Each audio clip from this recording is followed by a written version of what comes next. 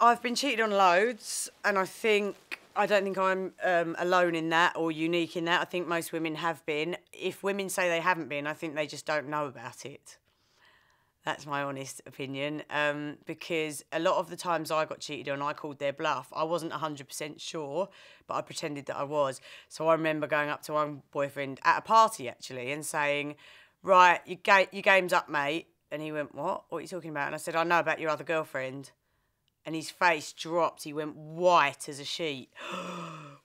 what do you mean you know? And I went, I know about her. I know you. I know about your other girlfriend. And he went, Oh my god, oh my god. I didn't mean for you to find it. And I went, All oh, right. I went, Well, I didn't know. I was just guessing, but now I do know.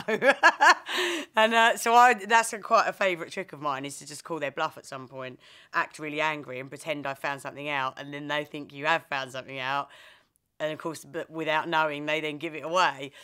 Um, so yeah, I think the reason I keep discovering the cheating is just because I'm clever with it, and I think some women, it's not that they're not clever, but they just turn a blind eye, or or because maybe they're naive, they think it won't happen to them, they don't then look for it.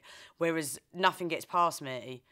To, to what to catch get something past me or catch me out you would have to get up so early you would never have to sleep ever for your whole life ever like you'd literally you, there's not an early enough time to get up to get one over me. So, so yeah, I do. I think uh, cheating is a terrible thing. It has uh, it has really been a major part of my life in terms of like why relationships have gone wrong for me because the men can't keep it in their pants.